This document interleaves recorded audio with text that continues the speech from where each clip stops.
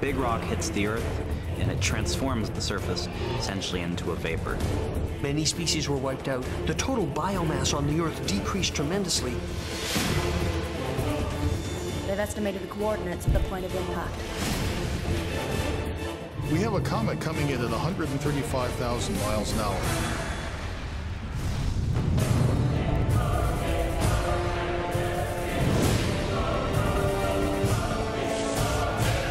This is the moment of truth. Anything that's unprotected is going to die within the first few minutes after this impact. The tsunami waves leave the Gulf of Mexico and into the Atlantic Ocean. Most of the sunlight will not make it to the surface. Surface temperatures may rise as high as six or 700 degrees.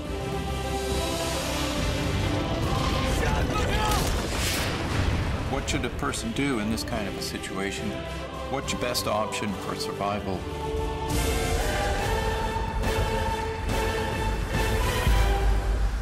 Daddy, I want to go home.